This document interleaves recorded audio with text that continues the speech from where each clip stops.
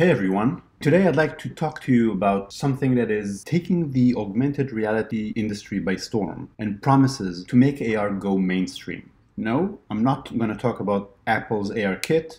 Enter the AR cloud. The concept is not new, but it finally seems attainable with a few companies demonstrating for the first time how this concept can actually work.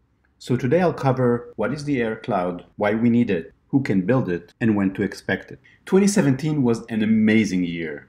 AR went mainstream. That is only from a developer point of view.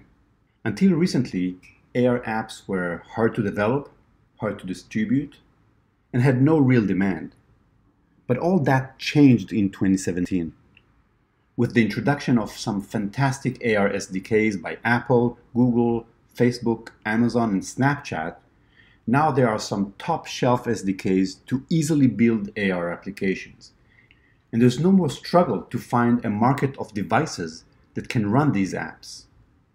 By year end, we're expecting 1.4 billion devices to be optimized for running these AR apps. By now, everyone has heard about augmented reality. They're not sure what it's good for, but curiosity has reached an all-time high. And yet, AR-based apps are still struggling to break through the novelty phase. Why is that? It's because ARKit and ARCore based apps are like surfing the web with no friends. So if not ARKit and ARCore, what will drive mass adoption of AR? Here are some of the top 20 internet properties. What do they all have in common? Sharing, communication, and collaboration. To hit the mainstream, AR experiences will need to persist in the real world across space, time, and devices. What does that mean? Persistence means I can create an AR experience in a physical space today and come back tomorrow and interact with it and another user can experience and collaborate with it on a different device. And of course, other people can do the same in other places. To enable these kind of experiences, you need the AR cloud. Some people call it a real-time spatial map of the world. Others think of it as when the world itself becomes a screen, a shared spatial screen. The IoT camp likes to call it the digital twin or the world as a soft copy. Maybe one day we'll simply call it the real cloud. So how important is it? Let's hype it a little. At some point in the future, the AR cloud will be the single most important software infrastructure in computing. Why does every AR insider think so? Because it could become the operating system of the next era of spatial computing. Everything will run off of it. But what is it really good for? At its heart, it's for sharing and collaborating in AR experiences with many users. And that is because the AR sharing we see today is not it. Sharing an image of a face filter or even a video with special AR effects, World Lenses, on YouTube no matter how cool or disturbing it may be, is not like sharing the actual AR experience itself. But why is sharing your AR experiences really so important? It took me 10 years in augmented reality to finally realize its true meaning. It's a new way to organize the world's information. The mission statement that defined the web era and made Google the most powerful company on the internet was to organize the world's information and make it accessible. But 20 years later, in the spatial computing era, we need information in the now. Ask any millennial and they'll say, I need info about what's in front of me right now, about this restaurant, that person, or this object. And I'm sick of searching it the old fashioned way. The AR cloud allows to organize information visually at its origin, or in Latin, in situ. And once that happens, you can simply glance and learn how to use of any object.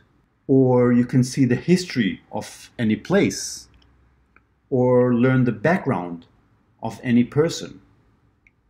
And the information is found right there on the thing itself, at its origin, in situ, without the need to search. And the beauty is that every person that interacts with these things or places adds their own knowledge to it. So AR's promise could be rephrased as to accumulate humanity's knowledge and make it accessible not a click away, but at a glance. There are many open questions that organize this information. Who should edit it? How to make it easily accessible, as well as many ethical and legal questions. But the biggest UX challenge is how do we transition from a world where all the knowledge is captured in text to a world where everything is captured visually, in 3D, and in situ? In any case, at the heart of it will be the AR cloud. And whoever controls the AR cloud could control how all information is organized and accessed. The battle for the AR cloud is on, and it will be fierce. But you may have heard or seen some AR cloud services before, right? So what's really new? You're probably thinking about these AR services in the cloud. Are these the AR cloud? Well, not quite. A GPS-based service is not an AR cloud because GPS is not accurate enough. I mean, where in this picture is the restaurant I'm looking for? And an image recognition cloud service is not an AR cloud either. These services could be great precursors to the AR cloud, but they can't do what the cloud needs to do. The AR cloud needs to understand the actual scene, the geometry of the physical environment, the objects in it. Without it, it's tricky to blend virtual content with the real world in a believable way. So how do you make an AR cloud? What are the ingredients? The AR cloud requires first a scalable and shareable point cloud, two, an instant ubiquitous localizer, and three, that enables real-time multi-user interaction. Let's break it down. A shareable persistent point cloud. Point clouds are not new. In fact, they've been around since the 1800s. And there are many proven ways to create point clouds from LiDAR, drones, depth and stereo cameras, etc. But for the AR cloud, point clouds need to be persistent, always accessible, and aligned with real-world coordinates. It should understand the geometry and shapes of the real world and be high resolution to support occlusion and collision. And it has to be infinitely scalable. It has to support large spaces and then connect many such large spaces to even larger clusters.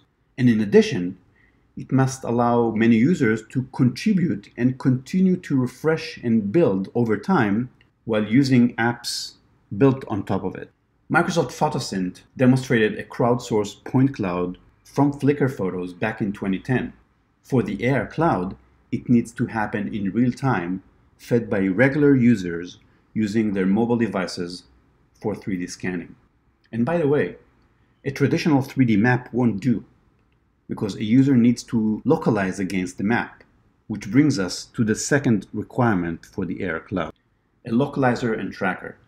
This is not new either, but for the AR Cloud, it has to work anywhere you go, from any angle, on any device. The reason it has to work on multiple devices is to allow interaction by many users in real time. Interaction in AR is of course not new, but the AR Cloud will support many users interacting in real time. Here's an example with more action and outdoors. And by the way, you want to be able to enable interaction on the device, but also by remote users in what you could call God mode. It's all like an MMO. Many users interact with persistent content and with each other in real time. Except here, it's mapped to the real world and it's a whole new game. So who can build it? Let's start with the giants. Microsoft, Google, Apple are the top contenders. Microsoft has built a great tracking system on the HoloLens that maintains content overlays or holograms in several locations around the space. And that's amazing. But It only works on a single device, cannot be shared with others. Plus, it currently only runs on HoloLens. Google has probably the best head start in building the point cloud with Street View cars, the visual positioning service, Tango devices, and 3D scanning capabilities. However, it can only run on a very small number of devices, and it's not persistent. There's no multi-user support out of the box. What about Apple? ARKit is probably the best thing that happened to AR, but it can only detect surfaces so far, not full shapes. And of course, it works only on iOS and only on a single device. It cannot be shared across devices. But Apple do get an extra half star for bringing it to the largest installed base yet. Bottom line, the giants are behind. It will take a long time before they offer a mature AR cloud service. My bet is on the upstarts. It's going to take a crazy startup to put together the building blocks and prove the concept. And here are some of the startups that are already demonstrating different approaches to tackling this hard problem. Why it's going to be a startup? Because only a startup has the audacity to try something that hard, and startups will always have the advantage of offering cross platform support, which is essential to the AR cloud. Also, let's not forget the wildcards who can still emerge and try to take a leadership position, though most of these companies are far behind. Perhaps it will take a consortium an open source style project to bring this massive endeavor together. So when could that all happen? Well, it's not here yet, but for the first time in history, the ingredients are in place. Initial demos are real, and it seems not that far off. Let's look at how long these technologies took to mature. Here's a brief history of the point cloud and SLAM. The first point cloud was invented in the 1800s along with photography. 20 years ago, we saw the first real-time visual SLAM. And as far as 10 years ago, it was already demonstrated on a smartphone. The first AR device, the Tango, was announced five years ago. And we saw SLAM run on a depth sensor accessory back in 2013. That same year, Flyby demonstrated its ARKit-like capabilities on a smartphone. And then it took four more years until this tech was finally released as a formal product by Apple and Google. With this trajectory, my forecast is that a mature AR cloud service could take as much as three or more years to become available. But the leaders are being defined right now, and as soon as 2018, we'll see early systems appear in the market. And by the way, this timeline could change based on some of these factors. A future depth camera equipped iPhone could be a turbocharger for the creation of rich, accurate point clouds. Standards and an open source style project, perhaps a DNS registry like system, could open it up for many developers and accelerate the process as well. In smart glasses, once you have always on AR, could help accelerate the scanning of the world. Of course, we'll have to be diligent in how we address valid concerns around privacy and security. We want to make sure to avoid any friction in the market caused by these concerns. But you guys, the startups, the creators, corporations, the investors, you will be the key to make it happen. And you can't sit on the fence. You have to jump in now, or the cloud will leave you behind. So come partner with us in building the AR cloud. My name is Ori Inbar, and I want to thank you for being with us today. Come talk to us.